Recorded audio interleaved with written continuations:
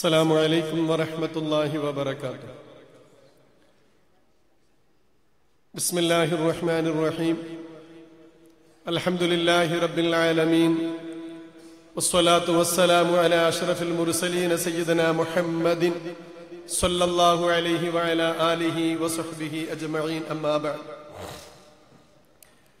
وحسل كلنا منا وسهل كلنا قربا وعن الفتان جنبنا وبيسيا ولي الله. صلاة الله سلام الله على طه رسول الله. സലാമുല്ലാ ഹബീബില്ലാ ഏറ്റവും ബഹുമാനമുള്ള ആലിമീങ്ങൾ സാദാത്തുക്കൾ പ്രിയപ്പെട്ട സഹോദരന്മാരെ സഹോദരിമാരെ നമ്മുടെ ഈ സംഗമം രണ്ട് ലോകത്തും ഉപകരിക്കുന്ന ഒരു അമലായി അള്ളാഹു നമ്മിൽ നിന്ന് കബൂൽ ചെയ്യട്ടെ. ആമീൻ. ഇതിന്റെ തുടക്കം മുതൽ ഒടുക്കം വരേക്കുള്ള നമ്മുടെ എല്ലാ സഹയ്യകളും അള്ളാഹുവിന്റെ അടുക്കിൽ സ്വീകാര്യമായ അമലാക്കി തരട്ടെ. ആമീൻ. നമ്മുടെ വീടുകുടികളിൽ നിന്ന് ഈ മഹത്തായ പരിപാടിയിലേക്ക് ഇറങ്ങി വരുമ്പോൾ നമ്മുടെ മനസ്സിലുണ്ടായിരുന്ന നീയത്തുകൾ എന്താണോ ആ മുറാദുകളൊക്കെ ഈ സദസ്സിൽ നിന്ന് പിരിയുന്നതിന് മുൻപായി അള്ളാഹു ഹാസിലാക്കി തരട്ടെ. ആമീൻ.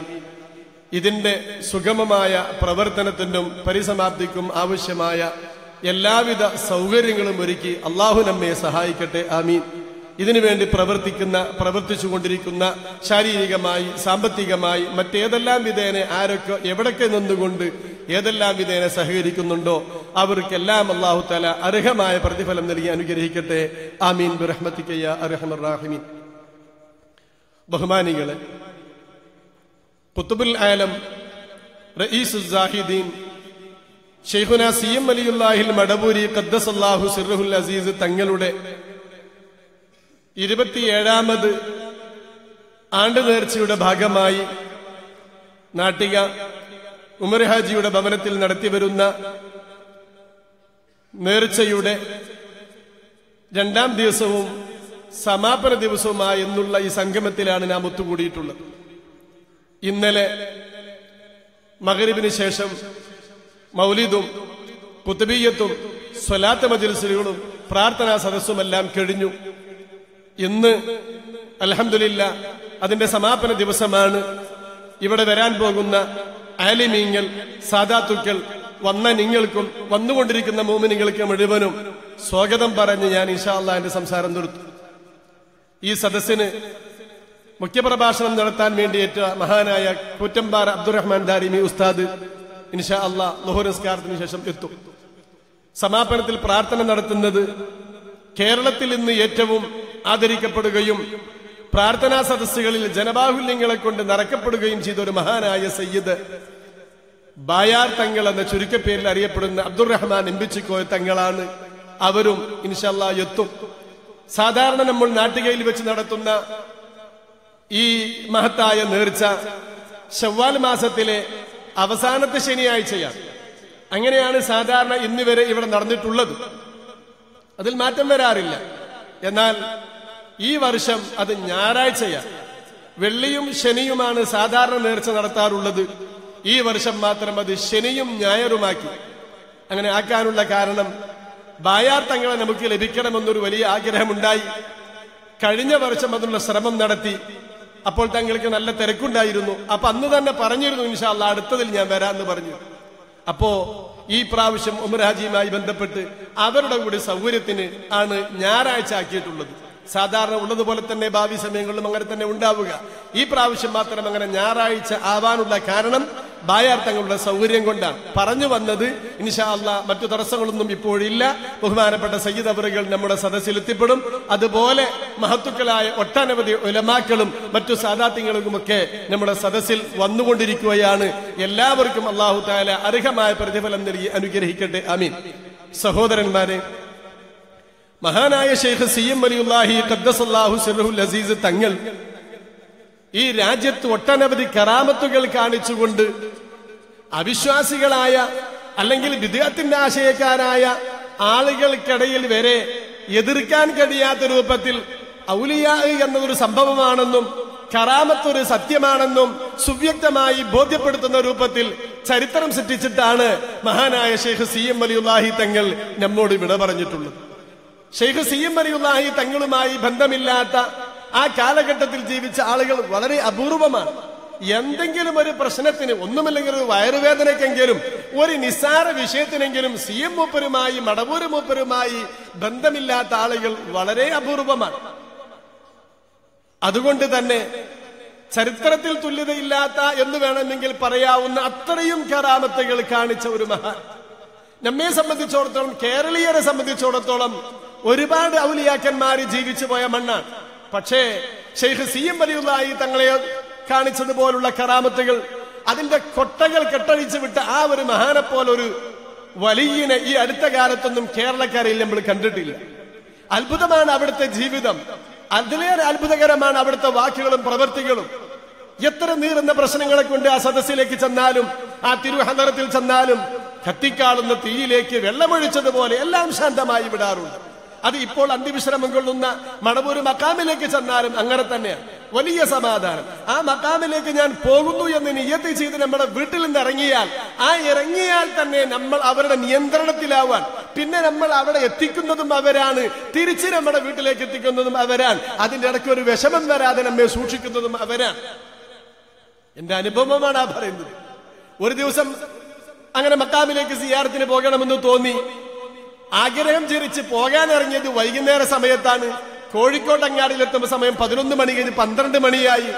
എന്നിട്ട് പിന്നെ അവിടുന്ന് വയനാട് പോകുന്ന ബസ്സിൽ കയറി നരിക്കുനിയിൽ ഇറങ്ങുക. കൂടുതൽ അവിടെ യാത്ര ചെയ്ത് പരിചയമില്ലാത്ത ആളാണ് ഞാൻ. നരിക്കുനിയിൽ ബസ് ഇറങ്ങുമ്പോൾ ഏകദേശം രണ്ട് മണിയാണ് രാത്രി. ആ സമയത്ത് കറണ്ട് പോയിട്ടുണ്ട്. നല്ല മഴ പെയ്യുന്നുണ്ട്. ഇനി എങ്ങോട്ടാ പോകേണ്ടത് എന്നറിയില്ല ചോദിക്കാനാണെങ്കിൽ അവിടെ ഒരാളില്ല കയ്യിൽ കൊടയില്ല ടോർച്ചുമില്ല. ഒരു വല്ലാത്തൊരു പ്രതിസന്ധി ഘട്ടം. ബസ് ആ സ്റ്റോപ്പിലേക്ക് എത്തും തോറും വല്ലാത്ത വേദന. പടച്ചോനെ ഞാൻ ഷെയ്ഖനാന്റെ ഹലറത്തിൽ വന്നിട്ട് ഞാൻ ഇങ്ങനെ കുടുങ്ങിപ്പോകുമോ നേരം വെളുക്കോളം ഈ കടത്തിന്റെ തിണ്ണയിൽ പീഡിയത്തിണ്ണയിൽ ഇരിക്കേണ്ടി വരുമോ എന്നൊരു ബേജാറ് തോന്നി. പക്ഷേ ബസ് ഇറങ്ങി അവിടെ നിൽക്കുമ്പോഴേക്ക് ഒരു ഓട്ടോറിക്ഷക്കാരൻ സി എം മക്കാമിലേക്കാണ് വരുന്നുണ്ടോ എന്ന് ചോദിച്ചിട്ട് വന്നു. സി എം മക്കാമിലേക്ക് പോവാണ് നിങ്ങൾ വരുന്നോ? എന്ന് ചോദിച്ച് ആ രാത്രി രണ്ട് രണ്ടര മണിക്ക് വന്നു.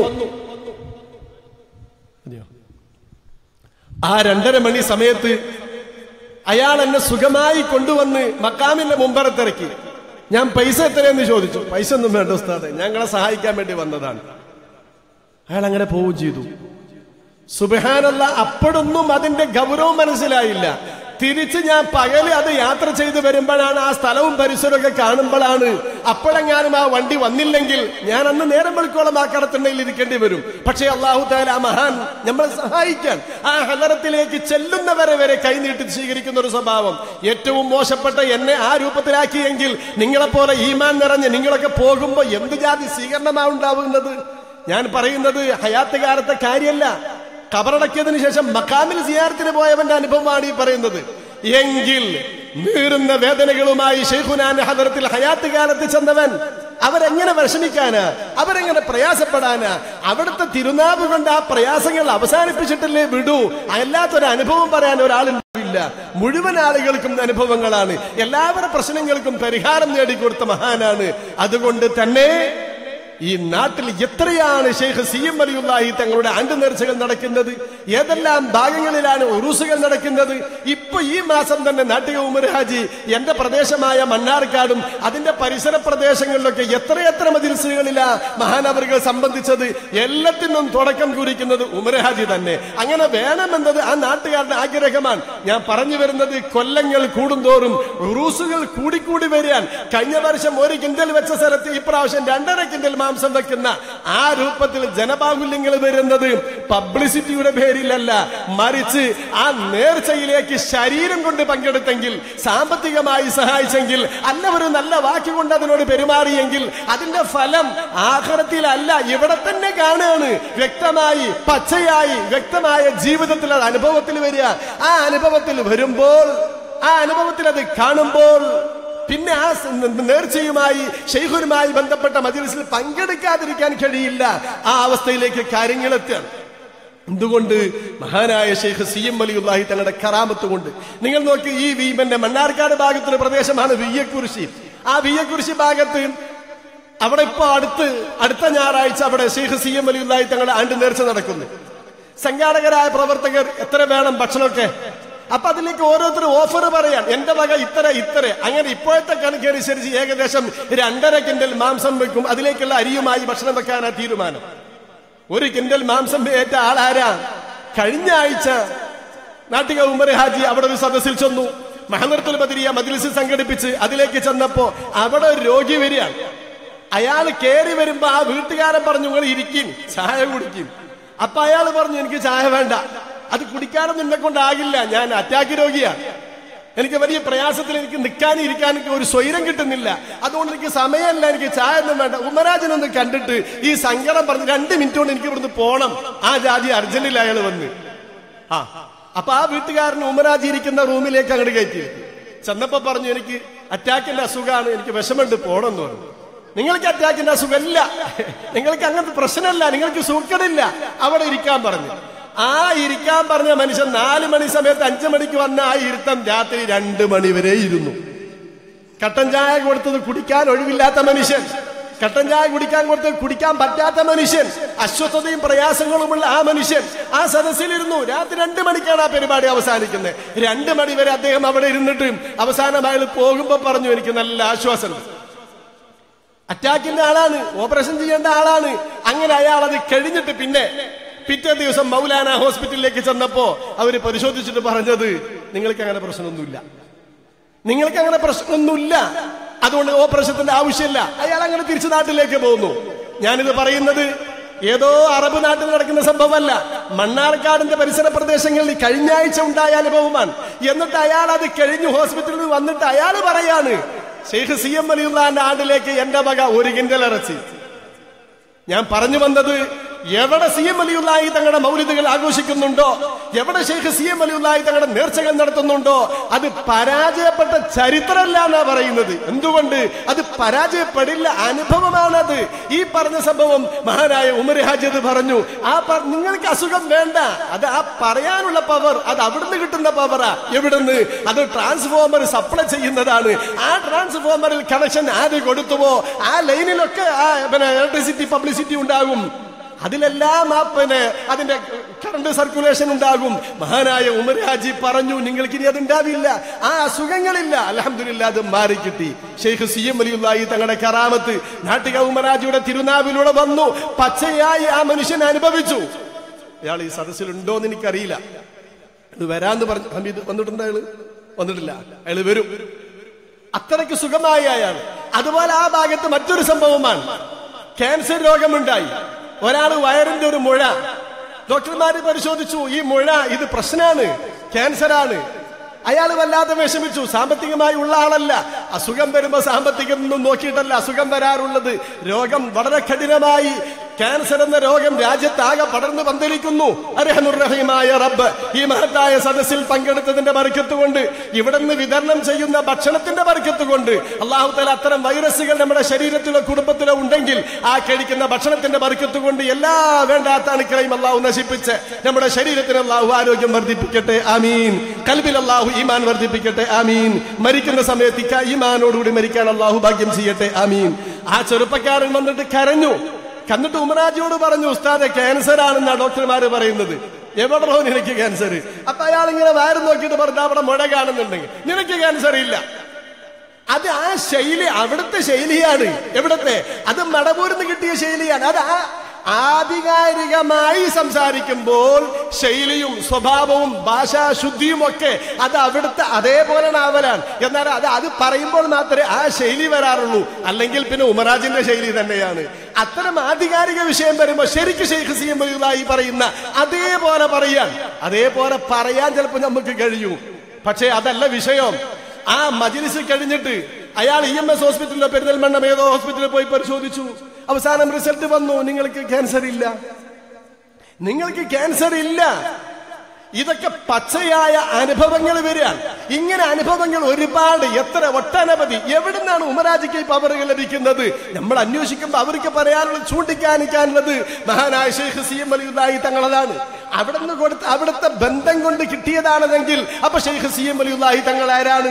മഹാനവറുകളോടുള്ള കണക്ഷനിലൂടെ അവർ സ്നേഹിച്ച വകയിലാണ് ഇത്ര പവർ ഇവർക്ക് ലഭിക്കുന്നതെങ്കിൽ ആ ഷെയ്ഖ് സി എം അലിയുല്ലാഹി തങ്ങൾക്ക് അള്ളാഹു കൊടുത്ത പവർ എത്രയായിരിക്കും? അപ്പൊ അവരുടെ കഴിവെത്രയാണ് ഇനി അതെവിടുന്ന് കിട്ടി എന്ന് നോക്കിയാൽ ഹബീബ് മുഹമ്മദുർ റസൂലുള്ളാഹി സ്വല്ലല്ലാഹു അലൈഹി വസല്ലം മദീനയുടെ രാജകുമാരനായ ലോകത്തിന്റെ നേതാവായ അഷ്റഫുൽ ഹൽക്ക് മുഹമ്മദുർ റസൂലുള്ളാഹ് സ്വല്ലല്ലാഹു അലൈഹി വസല്ലം.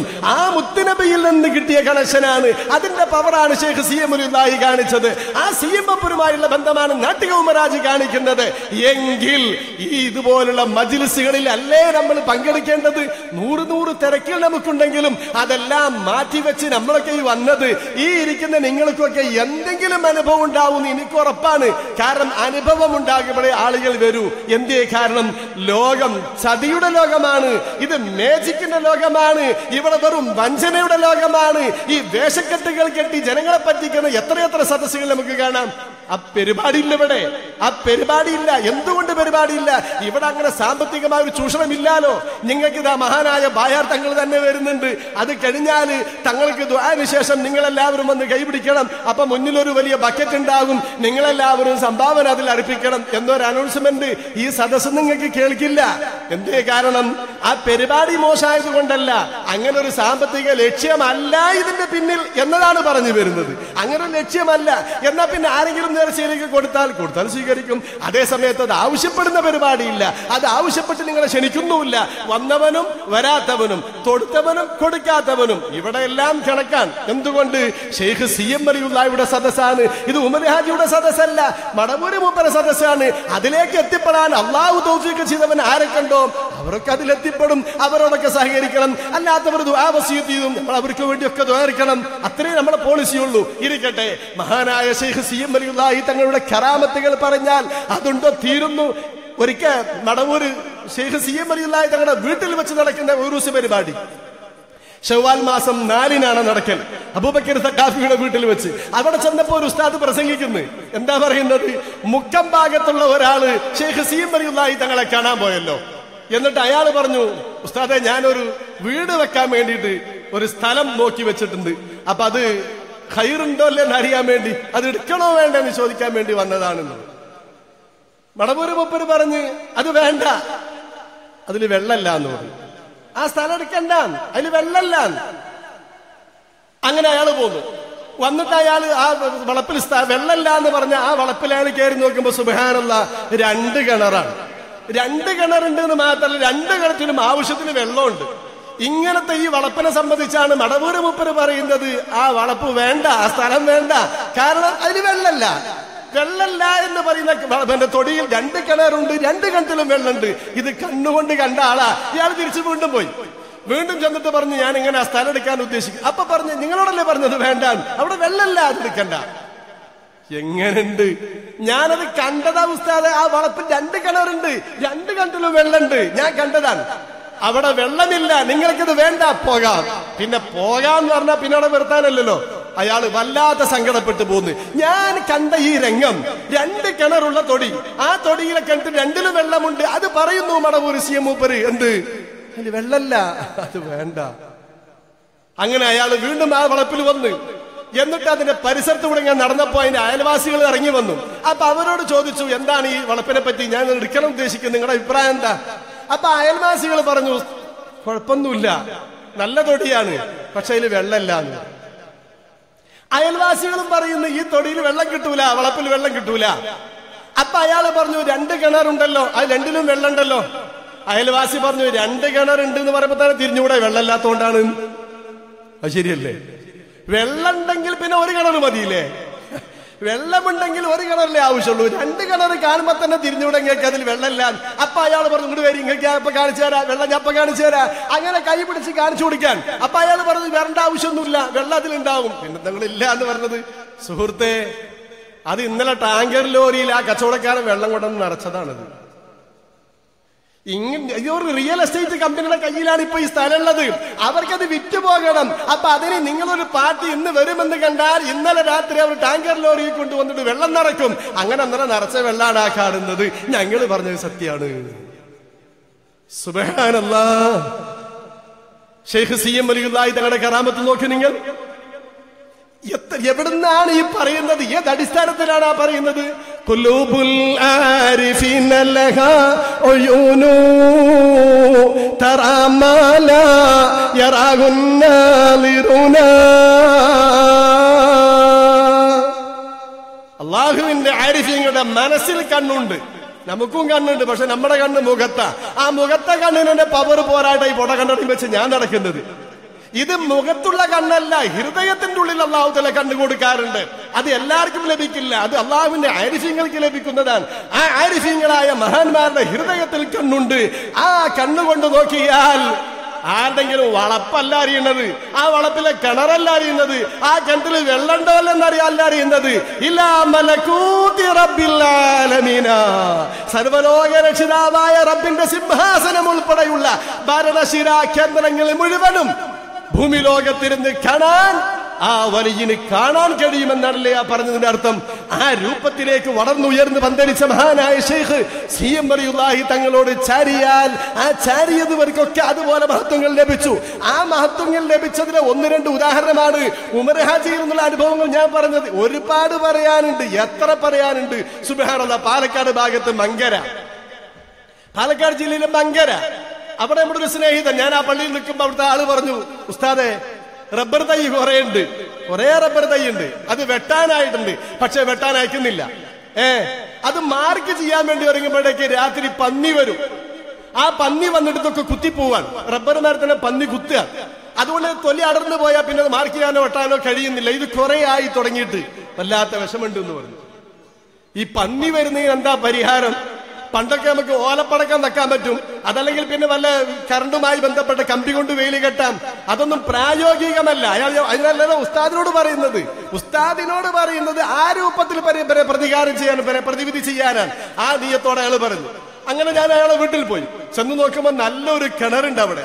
വിശാലമായ ഒരു കിണർ എന്ത് രസാണത് കാണാൻ. പക്ഷെ ആ വെള്ളം ഒരു വസ്തുവിന് പറ്റൂല. മുക്കാ കിണറ് വെള്ളണ്ട്. ഒന്നിനും പറ്റൂല. അപ്പൊ ചോദിച്ചു തന്താ ശേഖരിക്ക ഇങ്ങനെ? അയാൾ പറഞ്ഞു ഉസ്താദെ പറയണ്ട. ഏകദേശം ഒരു ലക്ഷത്തിന്റെയും രണ്ട് ലക്ഷത്തിന്റെയും ഇടയിൽ ചെലവാക്കി ഉണ്ടാക്കിയ കിണറാണ്. ഇഷ്ടം പോലെ വെള്ളാണ്. അത് നല്ല തണുത്ത വെള്ള പക്ഷെ ഇതിങ്ങനെ കലങ്ങിക്കൊണ്ടിരിക്കും. എപ്പോഴും ഇങ്ങനെ കലങ്ങിക്കൊണ്ടിരിക്കും. ഇത് തെളിഞ്ഞ ഒരു സമയം കണ്ടിട്ടില്ല. അപ്പൊ ഏതായാലും ഉസ്താദ് വന്ന നിലയ്ക്ക് ഈ വെള്ളം ഒന്ന് ശുദ്ധിയായി കിട്ടും വേണം. ആ പന്നിന്റെ പ്രശ്നം ഒന്ന് പരിഹരിക്കും വേണം.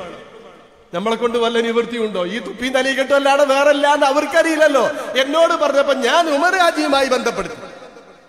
ഉമർ ഹാജിയുമായി ബന്ധപ്പെടുത്തിയപ്പോ അവർ പറഞ്ഞു ഞാൻ ആ വഴിക്ക് വരുമ്പോൾ ഇൻഷാല്ല നമുക്ക് ഒരു ദിവസം നോക്കാം. അങ്ങനെ ഒരു ദിവസം ആ വഴിക്ക് യാത്ര ചെയ്യുമ്പോൾ അയാളെ വീട്ടിൽ വന്നു. വന്നിട്ട് ആ കിണറ്റിന്റെ അവിടെ വന്നു. എന്താ സംഭവം ഇതിങ്ങനെ? അപ്പൊ കുറച്ച് വെള്ളം എടുത്തിട്ട് പറഞ്ഞു ഇനി വെള്ളം ഇങ്ങനെ മാറാൻ പാടില്ല ഇത് മനുഷ്യന് ഉപയോഗിക്കാനുള്ളതാണ് എന്ന് പറഞ്ഞിട്ട് അതിൽ ഒഴിക്കുമെന്ന് പറഞ്ഞു. അങ്ങനെ അതുപോലെ പറഞ്ഞിട്ട് ഇയാൾ ഈ കൊടുത്ത വെള്ളം ഒരു ഗ്ലാസ് അതിലേക്ക് ഒഴിച്ചു. മുറ്റത്തിറങ്ങി നിന്നിട്ട് പറഞ്ഞു ഈ നാട്ടിലെ പന്നികളൊക്കെ കേൾക്കണം? മനുഷ്യന്മാരോടല്ല പറയണത്. ഈ നാട്ടിലെ പന്നികളൊക്കെ കേൾക്കണം. ഈ വളപ്പിലേക്ക് ഇനി ഒരാളും വരാൻ പാടില്ല. നാട്ടുകാവുമരാജിന്റെ ഇത് എന്ന് പറഞ്ഞു. പറഞ്ഞിട്ട് ആറ് കൊല്ല ഇന്ന്. ഈ ആറ് കൊല്ലം വരേക്ക് ഷഹീർഖാനെ വളപ്പിക്ക് പിന്നെ പന്നി വന്നിട്ടില്ല. അനുഭവമാണ് ഈ പറയുന്നത്. ആറ് കൊല്ലത്തോളമായി ആ വളപ്പിൽ പിന്നെ പന്നിന്റെ ശല്യം വേലി കെട്ടിയിട്ടല്ല. ആ വാക്കാണ്. അതേസമയം പിറ്റേത്തെ ദിവസം രാവിലെ മുതൽ ആ കിണർ ശുദ്ധമാണ്. ഇപ്പോഴും ഞങ്ങൾ ആ വീട്ടിൽ പോകാറുണ്ട്. കൊല്ലത്തിൽ ഒരു പ്രാവശ്യം ഷെയ്ഖ് സി എം അലിയുല്ലാന്റെ മൗലിദോ അല്ലെങ്കിൽ കുത്തുബിയത്തോ നടത്താറുണ്ട്. ആ മജിൽസ് ഞങ്ങൾ പോകുമ്പോൾ ആ കിണറ്റിലെ വെള്ളം തന്നെ എടുക്കലും കുടിക്കലും ഇപ്പോൾ അവർ ഉപയോഗിക്കുന്നതും. ഞാൻ പറയുന്നു വന്നത് എന്ത് ചികിത്സയാണ് ഈ നടത്തിയത്? ഒരു തുള്ളി വെള്ളം എടുത്തിട്ട് അതിലേക്ക് ഒഴിക്കാൻ. ഇനി വെള്ളം ശുദ്ധമായി കിട്ടുമെന്ന് പോയി പറ. മുറ്റത്തിറങ്ങിയിട്ട് പന്നികളോട് പറയാണ്. അപ്പൊ ഞാൻ ചോദിച്ചത് ആരോടാ പറയുന്നത്? അപ്പൊ ഉമറാജ് പറഞ്ഞു മനുഷ്യന്മാർക്കേ തിരിയാത്തുള്ളൂ. പന്നികൾക്ക് നമ്മളെ മനസ്സിലായിട്ടുണ്ട്. മനുഷ്യന്മാർക്ക് നമ്മളെ മനസ്സിലാവാത്ത പന്നികൾക്കൊക്കെ നമ്മളെ മനസ്സിലായിട്ടുണ്ട്. അതുകൊണ്ടാണ് അതിന്റെ വളരെ അച്ചടക്കത്തോടെ ഒരൊറ്റ പന്നി പിന്നെ വഴിക്ക് വന്നില്ല. ഞാൻ പറയുന്നത് ഈ നാവിന്റെ പവർ എന്താ?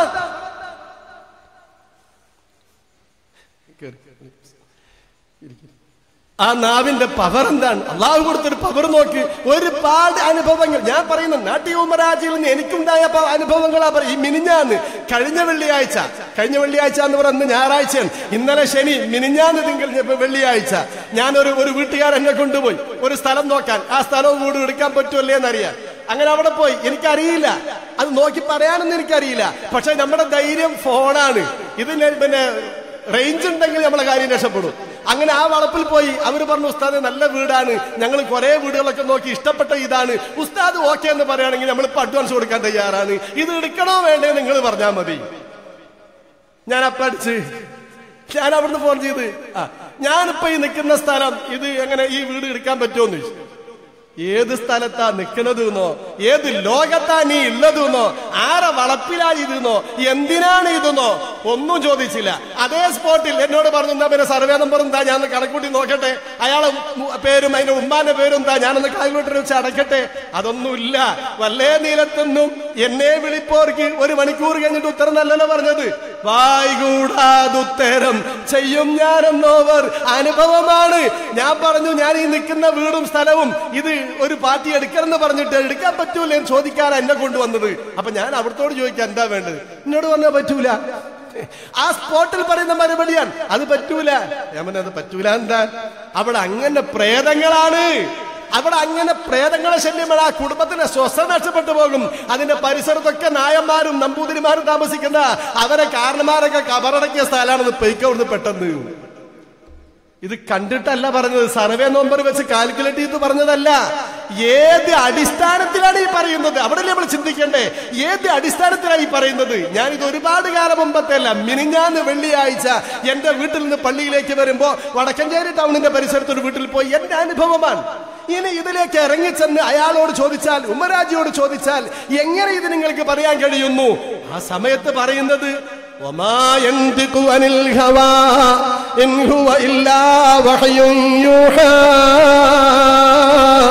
ചൊല്ലില്ല ഞാനൊന്നും എന്നോട് ചൊല്ലാതെ. മുഹിദ്ദീമാലയിൽ നമ്മൾ കാണുന്നുണ്ട് മഹാനായ ഷെയ്ഖ് അബ്ദുൽ ഖാദിർ ജീലാനി. തങ്ങളോട് പറയുന്നുണ്ട് ആര് എന്നോട് എന്ത് ചോദ്യം ചോദിച്ചാലും എന്നോട് എന്റെ റബ്ബ് പറയൂ എന്ന് അമ്ര വരുമ്പോൾ മാത്രമേ ഞാൻ എന്റെ വായ തുറക്കൂ. അതാണ് അഷറഫുൽ മുഹമ്മദുർ റസൂലുള്ളാഹു അലൈഹി വസല്ലം തിരുസന്നിധിയിൽ വന്ന് ആരെന്ത് ചോദിച്ചാലും സ്വന്തമായി മറുപടി പറയാറില്ല. എന്ന് പറഞ്ഞതാരാ? പടച്ച റബ്ബാണ്. എവിടെയാ പറഞ്ഞത്? പരിശുദ്ധ ഖുർആാനിലാണ്. ആ പറഞ്ഞ ആയത്താ ഞാൻ ഓതി കേൾപ്പിച്ചത് വമാ യന്തിഖു عن الهوى ഇൻ ഹുവ ഇല്ലാ وحي يوحى നിങ്ങൾക്ക് റസൂലായി വന്ന പ്രവാചകനുണ്ടല്ലോ. നിങ്ങളുടെ പ്ര- പ്രവാചകനായി വന്ന മുഹമ്മദ് റസൂലുള്ളയുണ്ടല്ലോ. സല്ലല്ലാഹു അലൈഹി വസല്ലം തോന്നിയത് പറയുന്ന ആളല്ല. റബ്ബിന്റെ സർട്ടിഫിക്കറ്റ് ആണ് അത് റസൂലുള്ളാക്കുള്ള സർട്ടിഫിക്കറ്റ് നൽകുകയാണ്. ആ പ്രവാചകൻ ആരാണ്? വമാ യന്തിഖു അനിൽ ഹവാ തോന്നിയത് പറയുന്ന ആളല്ല. മറിച്ച് ഇല്ല. റബ്ബിന്റെ കൽപ്പനയില്ലാതെ അദ്ദേഹം ഒന്നും സംസാരിക്കില്ലെന്ന് പറഞ്ഞതുപോലെ ഷെയ്ഖ് സി എം അലിയുള്ളായി തങ്ങൾ എന്നോട് പറയാതെ ഞാൻ ഒരു വിഷയത്തിനും മറുപടി പറയാറില്ല.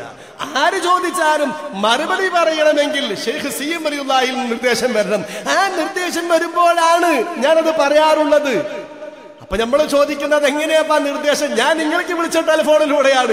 അങ്ങനെ ടെലിഫോണിലൂടെയാണോ ശേഖർ സി എം അലിയുള്ളാഹി തങ്ങൾക്ക് വിളിക്കുന്നത് അത് കഴിയില്ലാലോ ഇപ്പോ? അതിന്റെ ആവശ്യമില്ലല്ലോ. അതിന്റെ ആവശ്യമില്ല എന്ന് വ്യക്തമായി എനിക്ക് ബോധ്യപ്പെട്ടു. ഉമരാജി പറയാൻ എന്റെ രണ്ടാമത്തെ മോൻ ഹസീബ് ഇപ്പൊ കല്യാണം കഴിഞ്ഞ് അവന് കുട്ടിയാവാനായി. അള്ളാഹു സന്തോഷമുള്ള പ്രസവം നൽകി സ്വാലിഹ്യങ്ങളായ മക്കളെ നൽകട്ടെ. അമീൻ ആ ഹസീബിന് അവന്റെ ഉമ്മ ഗർഭിണിയാവുന്ന കാലത്ത് അന്ന് ഷെയ്ഖ് സി എം അലിയുള്ളായി ഹയാത്തുള്ള സമയമാണ്. ഉമർ രാജ്യമായി നല്ല ബന്ധമാണ്. അപ്പൊ എന്ത് പ്രശ്നങ്ങൾ ഉണ്ടെങ്കിലും അവിടെ പോയി പറഞ്ഞാൽ അത് ആ സമയത്ത് പരിഹാരമാണ്. അങ്ങനെ ഒരു സമയത്ത് ചെന്നപ്പോ പറഞ്ഞു ഞാൻ ഒരു വല്ലാത്ത വിഷമത്തിലാണ് വേദനയിലാണെന്ന് എന്തോ ഒരു വിഷയത്തെ കുറിച്ച് പറഞ്ഞപ്പോ നിങ്ങൾക്ക് വേദന വേണ്ട എന്നും പറഞ്ഞ ഒരൊറ്റടി അവിടെ അടിച്ചതാണ്. ആ ഒരു വാക്ക് അതൊരു സമ്പത്തായി കാത്തു സൂക്ഷിക്കുന്ന ആ സമയത്താണ് ഇപ്പോൾ ഹസീബ് എന്ന് പറയുന്ന മോനെ അവന്റെ ഉമ്മ അന്ന് ഗർഭിണിയാണ്. അങ്ങനെ പ്രസവത്തിനായി മദർ ഹോസ്പിറ്റലിലേക്ക് അഡ്മിറ്റ് ആക്കി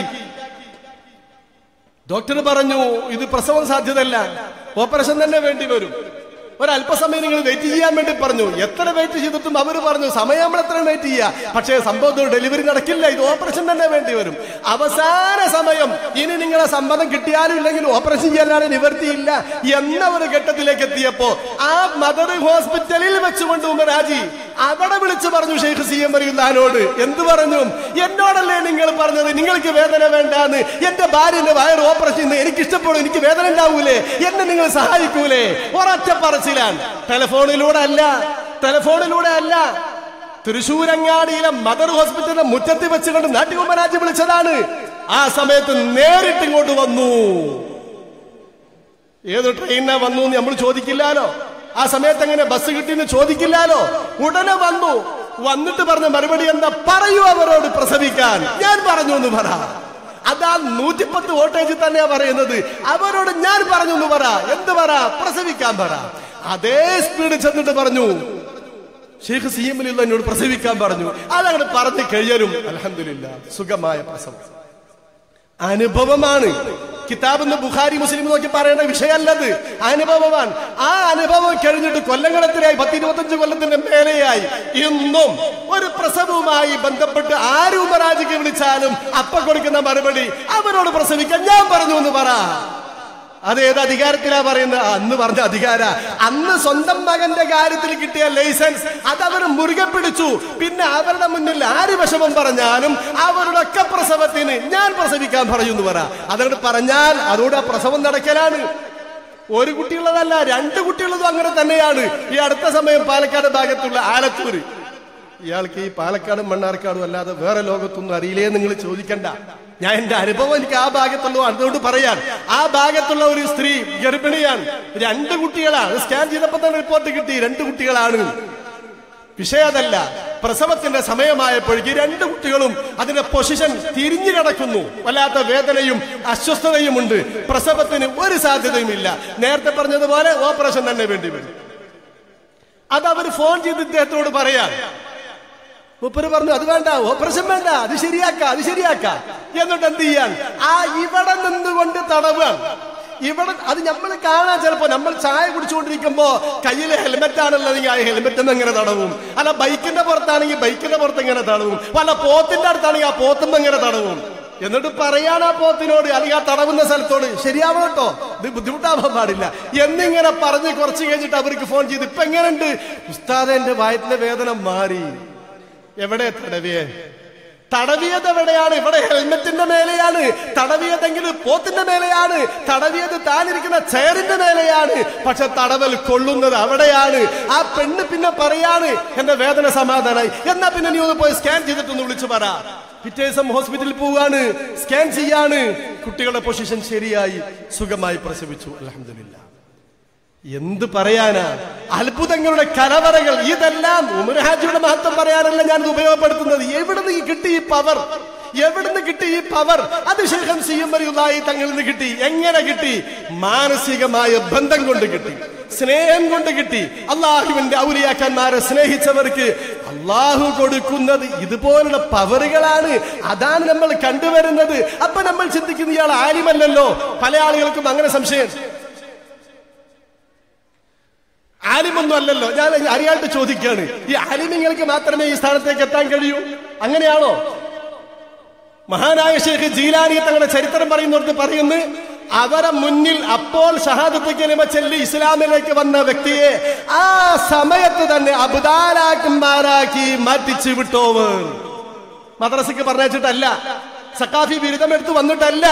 ആ എന്റെ മുന്നിൽ വന്ന ഷെയ്ഖ് അബ്ദുൽ ഖാദിർ ജീലാനി തങ്ങളുടെ മുന്നിൽ വന്നുപെട്ട ആ സെക്കൻഡിൽ അള്ളാഹുവിന്റെ ഔലിയാക്കന്മാരുടെ ഉന്നത ദർജയിലുള്ള അബുദാരന്മാരെന്ന ലോകത്തേക്ക് ഇയാളെ കൈപിടിച്ചുയർത്തി. അത് എന്തുകൊണ്ട് അത് പവർ അള്ളാഹുത്തിന് അത് കൊടുത്തു. അതിനുള്ള കഴിവ് കൊടുത്തു. അത് കിട്ടാനുള്ള മാർഗം എന്താ? അത് സ്നേഹമാണ്. സ്നേഹത്തിന്റെ മുന്നിൽ നിയമങ്ങൾക്ക് വിലയില്ല. സ്നേഹത്തിന്റെ മുന്നിൽ മറ്റൊന്നും തടസ്സമല്ല. ഷെയ്ഖ് സി എം അലിയുള്ളായി തങ്ങളെ ആ രൂപത്തിൽ സ്നേഹിച്ചു. സ്നേഹത്തിലൂടെ നേടിയെടുക്കാൻ കഴിയാത്തതും ഹിതമത്തിലൂടെ സമ്പാദിക്കാൻ കഴിയാത്തതും എന്താണ് ലോകത്തുള്ളത്?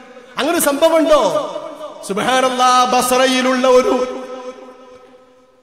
മഹാനായ മുസാ നബി അലഹിസ്സലാം ജീവിച്ചിരിക്കുന്ന കാലം. മുസാ നബി അലൈഹി പടച്ചറപ്പിനോട് പ്രാർത്ഥിച്ചു അല്ലാ അള്ളാഹും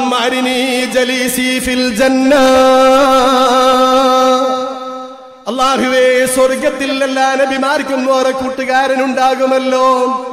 എനിക്കും അപ്പൊ ഒരു കൂട്ടുകാരൻ സ്വർഗത്തിൽ നീ തരുമല്ലോ ആ സ്വർഗത്തിൽ നീ എനിക്ക് നൽകുന്ന കൂട്ടുകാരൻ ആരാണ്? അല്ലാ.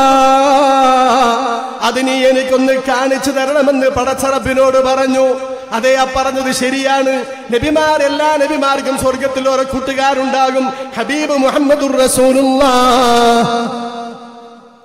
ഇല്ലയോ? ചെല്ലാണ്ടിക്കില്ല ഞാൻ ഈ മൈക്ക് ഉപയോഗപ്പെടുത്തുന്നത് സൗണ്ട് ശരിയുണ്ടോ നോക്കാനാണ് ഒന്ന്. രണ്ടാമത്തെ നിങ്ങൾ സ്വലാത്തിൽ ഇരുന്ന് ഉഷാറാക്കാനുമാണ് കാരണം ഇനി സയ്യിദന്മാരും വലിയ വലിയ ആലിമ്യങ്ങളൊക്കെ വരുമ്പോൾ സ്വലാത്തിന്റെ കുറവ് നമ്മുടെ മജിൽസിൽ ഉണ്ടാവാൻ പാടില്ലല്ലോ. അങ്ങനെ ഉണ്ടാവില്ല. കാരണം നല്ല ഈമാനുള്ള ആളുകളാണ് നമ്മളെല്ലാവരും. ഹബീബ് മുഹമ്മദുർ റസൂലുള്ളാഹി. സല്ലല്ലാഹു അലൈഹി വസല്ലമ തങ്ങൾ പറഞ്ഞു ലിക്കുല്ലി നബിയും റഫീഖും ഫിൽ ജന്ന ഫറഫീഖി ഉസ്മാൻ. സ്വർഗത്തിൽ എല്ലാ നബിമാർക്കും ഓരോ കൂട്ടുകാരനുണ്ടാകും എന്നാൽ എന്റെ കൂട്ടുകാരൻ ആരാണെന്നറിയുമോ? അത് ഉസ്മാൻ ബിൻ അഫ്ഫാനാണെന്ന് മുഹമ്മദുർ റസൂലുള്ളാഹി സല്ലല്ലാഹു അലൈഹി വസല്ലം. ആ നിലയ്ക്ക് മഹാനായ മൂസാ നബി റബ്ബിനോട് ആവശ്യപ്പെടുകയാണ്. അല്ലാഹും അരിനി ജലീസി ഫിൽ ജന്ന.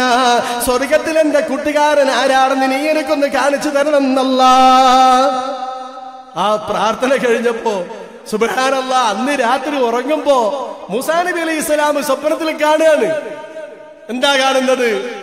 ബസറ അങ്ങാടിയുടെ ഓരത്തുള്ള ഒരു കശാപ്പുകാരൻ ഇറച്ചി കച്ചവടക്കാരൻ.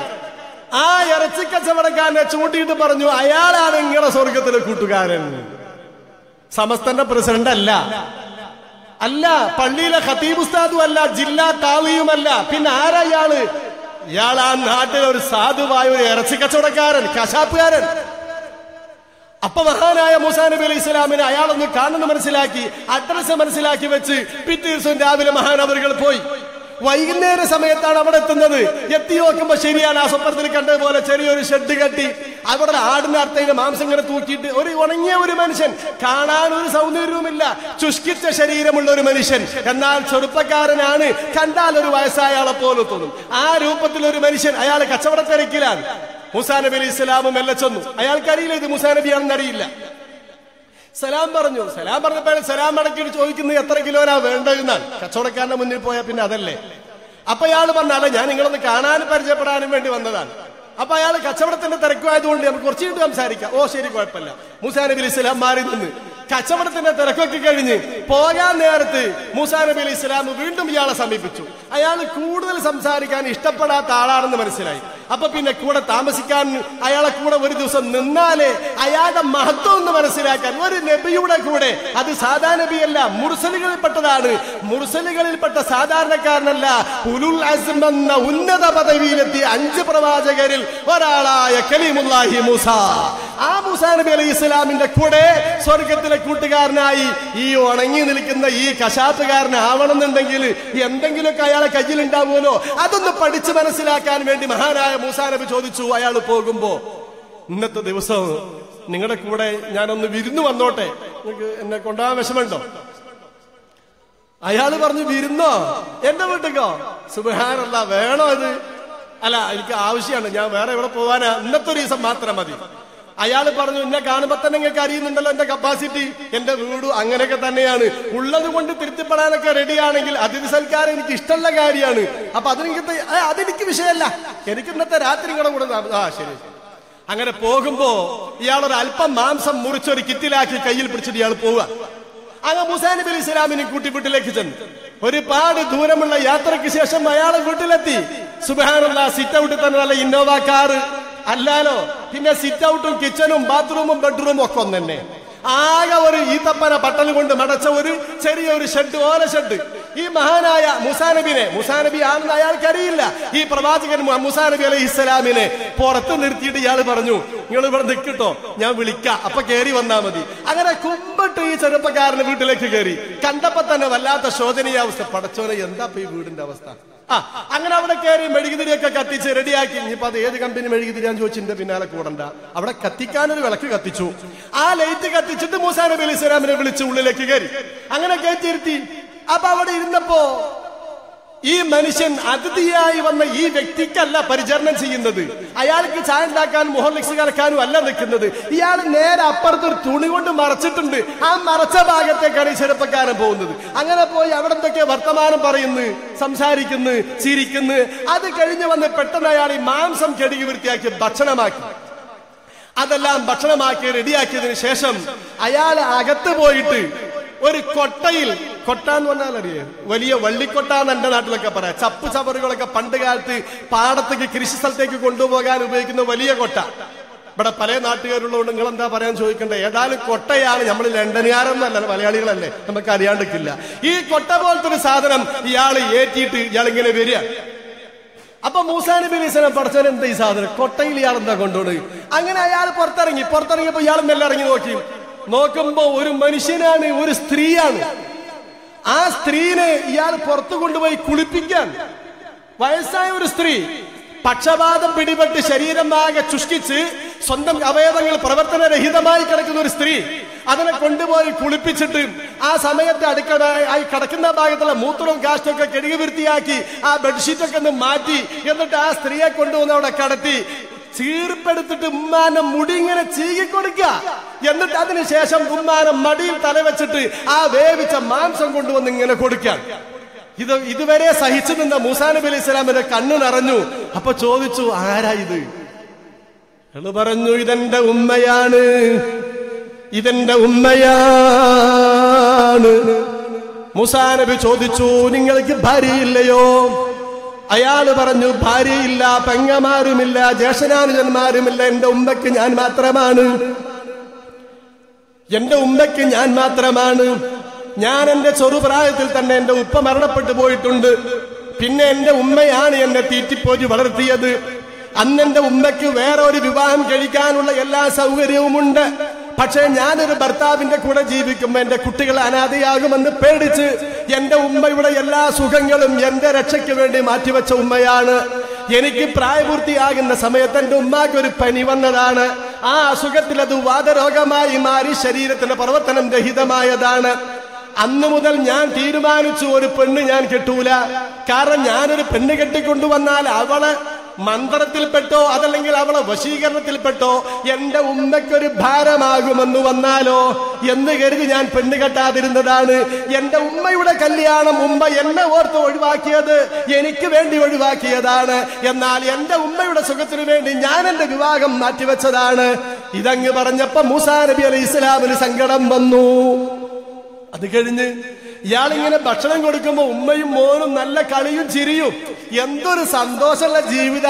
ഈ ശരീരമാകെ ഉണങ്ങിക്കിടക്കുന്ന ആ ടെൻഷനൊന്നും ഉമ്മാക്കില്ല. മകനുമില്ല. കച്ചവടങ്ങനുണ്ടായിരുന്നു ഉണ്ടായിരുന്നു? എന്താ അതൊക്കെ ചോദിക്കാനുള്ളത്? ഉമ്മാന്റെ വർക്കത്ത് കൂടെ കച്ചവട കടകൾ തുടങ്ങാ മതി. പോരുന്ന പിന്നെ തിരക്കന്നെ. അങ്ങനത്തെ ഒരു വിഷമം ഉണ്ടായിട്ടില്ല. ഉമ്മാക്ക് ഉമ്മാന്റെ ഉണ്ടാകുമ്പോ എനിക്ക് പിന്നെ വിഷമം ഉണ്ടാവുമോ എന്നിങ്ങനെയൊക്കെ പറഞ്ഞ് ആ സംസാരം കേട്ട് മൂസാ നബി അലൈഹി സ്വലാം ഉമ്മാനെ എനിക്കൊന്ന് കാണാൻ പറ്റുമോ ഓ അതിനെന്താ കുഴപ്പമില്ലല്ലോ. അങ്ങനെ മഹാനവറുകൾ ആ വസ്ത്രമൊക്കെ മറച്ച് അവർ ചെന്നു. അപ്പോഴേക്ക് മഹാനായ മൂസാ നബി അലൈഹി ഇസ്ലാം നബിയാണെന്നറിയില്ല. ഒരു സ്വാലിഹായ മനുഷ്യനാണെന്നറിയാം. അങ്ങനെ വന്നപ്പോ മൂസാ നബി അലൈഹി ഇസ്ലാമിനെ കണ്ട് സംസാരിച്ചപ്പോ ഈ ഉമ്മ പറയാണ് നിങ്ങളെ കണ്ടാൽ ഒരു നല്ല മനുഷ്യനാന്ന് തോന്നുന്നുണ്ട്. നിങ്ങളെ കണ്ടാൽ ഒരു നല്ല മനുഷ്യനാ തോന്നുന്നുണ്ട്. അതുകൊണ്ട് എനിക്ക് നിങ്ങളോട് കാര്യം പറയാനുണ്ട്. അതെന്താ? നിങ്ങൾ ദ്വാരിക്കണം. എന്താ ദ്വാരിക്കേണ്ടത്?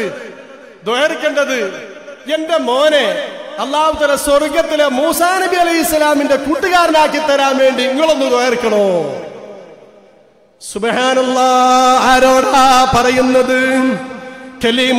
മൂസാ. നബി അലൈഹി ഇസ്ലാം ഇന്നലെ രാത്രി കണ്ട സ്വപ്നത്തിന്റെ അടിസ്ഥാനത്തിൽ അഡ്രസ്സും തേടി നടന്നു വന്നതാണ്. ആ മനുഷ്യനോട് ഉമ്മ പറയുകയാണ് നിങ്ങൾ എന്റെ മോന് വേണ്ടി ദുആ ചെയ്യണം. ആ സമയത്ത് ദുആ എന്താണെന്ന് ചോദിക്കുമ്പോ പറയുന്നത് എന്താണ് ജഅലി ഇബ്നി ഹാദാ ജലീസു മൂസാ ഫിൽ ജന്ന. അള്ളാഹുവേ എന്റെ ഈ മകനെ നീ സ്വർഗത്തിലെ മൂസാ നബിയുടെ കൂട്ടുകാരനാക്കണേ. ഇത് ഞാൻ എപ്പോഴും ദുആ ചെയ്യുന്ന ഒരു ദുആയാണ്. ഇതിനു വേണ്ടി നിങ്ങൾ എന്നെ സഹായിക്കണമെന്ന് പറഞ്ഞപ്പോ മൂസാ നബി അലി ഇസ്ലാം ഈ ചെറുപ്പക്കാരനോട് മുഖത്തേക്ക് നോക്കിയപ്പോ ചെറുപ്പക്കാരൻ മുഖം തിരിച്ച് മെല്ലെ പറഞ്ഞു ഉമ്മ അങ്ങനെയൊക്കെ പറയൂ. നിങ്ങൾ ആന്ന് പറഞ്ഞാളി.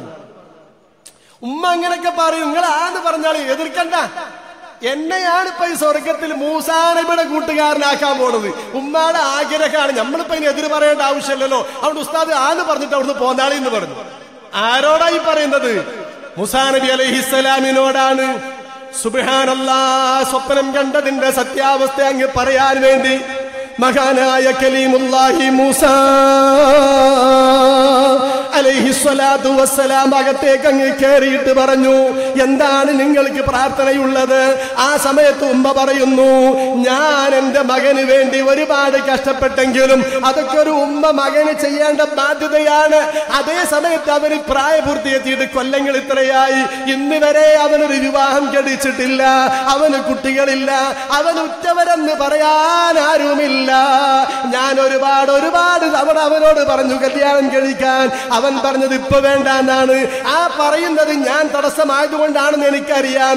അതുകൊണ്ട് എന്റെ മകന് സ്വർഗം തന്നാൽ പോരല്ല ദുനിയാവിലെ സുഖമെന്തെന്ന് അറിഞ്ഞിട്ടില്ലാത്ത എന്റെ പൊന്നുമോൻ സ്വന്തം ഭാര്യ സ്നേഹിക്കുന്നതിനേക്കാൾ കൂടുതൽ എന്റെ മൂത്രവും കാഷ്ടവും ചെടികി വൃത്തിയാക്കുന്ന എന്റെ പൊന്നുമോൻ എന്റെ തലമുടി ചീകിത്തരുന്ന എന്റെ പൊന്നുമോൻ എനിക്ക് കുളിപ്പിച്ച് വസ്ത്രം മാറ്റി എനിക്ക് ഭക്ഷണം നൽകുന്ന എന്റെ മകൻ ആ മകനിന് സ്വർഗം കൊടുത്താൽ പോരാ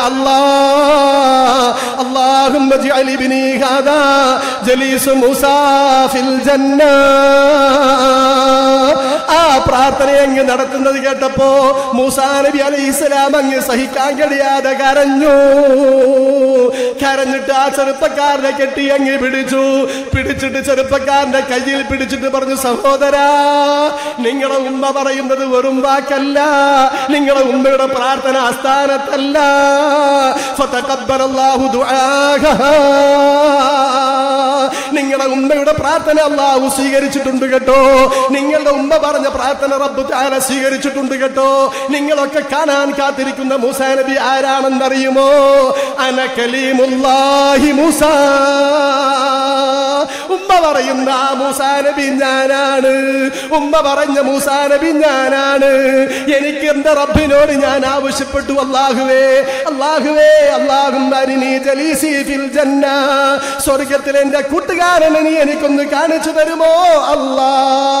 ആ ദുആഹിന് ഉത്തരമായി എന്റെ റബ്ബ് എനിക്ക് ഇന്നലെ രാത്രി സ്വപ്നത്തിൽ കാണിച്ചു തന്നതിന്റെ അടിസ്ഥാനത്തിലാണ് ഞാൻ രാവിലെ മുതൽ നിങ്ങളുടെ കടന്റെ വടിക്കൽ വന്ന് കാത്തുനിന്നതും നിങ്ങളുടെ ജീവിത രഹസ്യങ്ങളൊന്നും അറിയാനാ ഞാൻ ഇരുന്നു വന്നതും. അതുകൊണ്ട് ഞാനാണ് മുസാ നബി അലഹിസലാം ഉമ്മയുടെ സ്വീകരിച്ചിട്ടുണ്ട്. ആ പ്രാർത്ഥനയുടെ ഫലമായി നിങ്ങൾ സ്വർഗത്തിലാണ് സ്വർഗത്തിൽ നിങ്ങൾ എന്റെ കൂട്ടുകാരനാണ് കേട്ടോ. ആ വാക്കങ്ങ് കേൾക്കതോടുകൂടി ഉമ്മ ഒരൊറ്റ കരച്ചിലാണ് ഉമ്മയുടെ കണ്ണുകൾ നിറഞ്ഞു. ഉമ്മയുടെ ചുണ്ടുകൾ വിറച്ചു. ഉമ്മയുടെ റൂഹി പിരിഞ്ഞു പറയൂ ഇന്നാലില്ലാഹി വ ഇന്നാ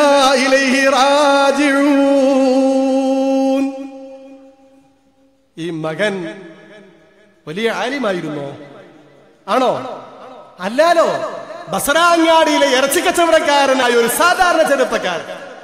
ആ സ്ഥാനത്തേക്ക് എത്തിപ്പെട്ടത് ഉമ്മയുടെ ഹിതമത്ത് കൊണ്ടാണ് ഉമ്മയുടെ മഹബത്ത് കൊണ്ടാണ് സ്വന്തം മാതാപിതാക്കൾക്ക് ഹിതമത്തെടുത്താൽ സ്വന്തം ഉസ്താദുമാരെ ഗുരുവര്യന്മാരെ ഹിതമത്തെടുത്താൽ അവർക്ക് സ്നേഹം നൽകിയാൽ അവരുമായി പിൻപറ്റിയാൽ കിട്ടുന്നതിന് പരിധിയില്ല. കിട്ടുന്നതിന് പരിധിയില്ല. ആ പരിധിയില്ലാതെ കിട്ടുമ്പോൾ അതുകൊണ്ട് രാജ്യത്ത് ഒരുപാട് അത്ഭുത സംഭവങ്ങൾ നടക്കുന്നു. ആ അത്ഭുതങ്ങളാണ്. ഷെയ്ഖ് സി എം അലിയുള്ളാഹി തങ്ങളെ ജീവനേക്കാൾ അധികം സ്നേഹിച്ച ഉമർഹാജി നമ്മുടെ മുന്നിൽ കാണിച്ച അത്ഭുതങ്ങളൊക്കെ അങ്ങനെയാണ്. അള്ളാഹു തല ഇനിയും അവിടുത്തെ ദർജ ഉയർത്തുമാറാവട്ടെ. ആമീൻ. അള്ളാഹു തല അവിടുത്തെ ക്ഷീണങ്ങളൊക്കെ മാറ്റി കൊടുക്കട്ടെ ആമീൻ. ഒരുപാട് കാലം സുന്നത്തിയമാത്തിന്റെ ഹിതമത്തിലായി ജീവിക്കാനും നമുക്കൊക്കെ സമാധാനം നൽകാനുമുള്ള എല്ലാ തൗഫീഖും അവർക്കും കുടുംബത്തിനും നമുക്കും നൽകി അനുഗ്രഹിക്കട്ടെ. ആമീൻ. സമയം നീണ്ടുപോയ നിങ്ങളൊക്കെ ക്ഷമിക്കണമെന്ന് ഉണർത്തുന്നു. നമ്മളിവിടെ പരിപാടിയുടെ ആദ്യത്തിൽ നോട്ടീസിൽ ബുർദ മജ്ലിസ് നമ്മൾ പരസ്യം ചെയ്തിരുന്നു. ബുർദക്ക് വരേണ്ട നമ്മുടെ ഗൂഡല്ലൂർ ഫാദിലി ഉസ്താദ് വിദേശത്തുള്ള യാത്രയിലായതുകൊണ്ട് പരിപാടിക്ക് എത്താൻ കഴിയാത്തത് കൊണ്ട് ബുർദ ഇന്നിവിടെ നടക്കുന്നില്ല. അപ്പൊ ആ ഒരു സമയം ഞാൻ ഒരു അല്പം സംസാരിച്ചു എന്നേ ഉള്ളൂ. നിങ്ങൾക്കൊന്നും വിഷമം ഉണ്ടാവില്ല എന്നാണ് ഞാൻ കരുതുന്നത്. ഉണ്ടെങ്കിലൊക്കെ ക്ഷമിക്കണം. സന്തോഷമാണെങ്കിൽ നിങ്ങളൊക്കെ എനിക്ക് വേണ്ടി ദുആ ചെയ്യണമെന്ന് ഉണർത്തുന്നു ഈ മഹത്തായ സദസ്സിൽ എത്തിപ്പെട്ട നിങ്ങൾക്ക് എല്ലാവർക്കും ഒറ്റവാക്കിൽ സ്വാഗതം പറഞ്ഞ് മറ്റു പരിപാടികളിലേക്ക് നീങ്ങുന്നു. വാഹൃദാൻ അലഹമുല്ലാഹി റബ്ബിൽ ആലമീൻ. അസ്സലാമു അലൈക്കും വറഹ്മത്തുള്ളാഹി